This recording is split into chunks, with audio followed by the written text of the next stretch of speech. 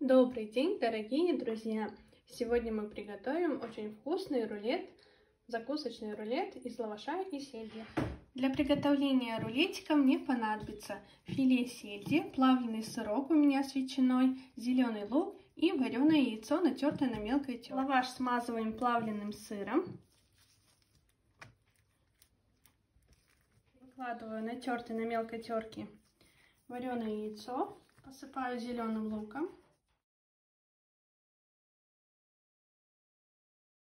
Заворачиваю в пищевую пленку и отправляю в холодильник на полчаса. Ну вот и все, рулетик готов. Приятного вам аппетита! Всем пока!